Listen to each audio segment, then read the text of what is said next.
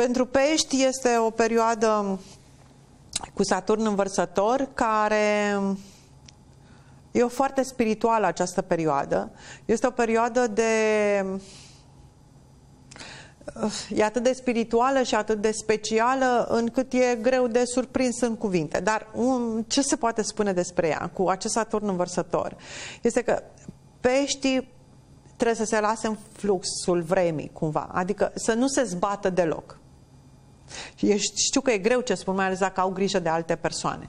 Dar mai ales peștii care au multe sarcini și grijă de multe persoane, pentru că au și Neptun în uh, semnul lor zodiacal și cu acest Saturn învărsător, cumva nu din efortul și zbaterea lor și din chinul lor vin soluțiile, ci prin intuiție, inspirație, prin ajutorul altor persoane pe care ei cumva trebuie să intre în rezonanță cu ele și să le întâlnească, nu să treacă pe lângă ele.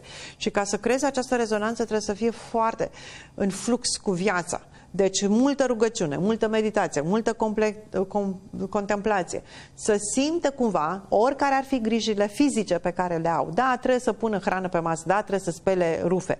Dar în timp ce fac lucrul ăsta, peștii, spre deosebire de orice altă zodie, trebuie să o facă foarte în contact cu Dumnezeu și cu viața și spălatul vasului ăla e altfel decât a fost până ieri. Dacă acum ieri vroiau, nu știu, să facă curată casa ca să fie curată, acum e altceva acolo, în, în, chiar și în lucrurile banale pe care le fac. Este un contact cu lumina, cu viața, cu speranța, cu iubirea, cu pasiunea, cu... Uh, viitorul cumva trebuie să se conecteze mm, prin suflet la aceste valori și noțiuni ca să poată descărca în uh, viața lor șansă.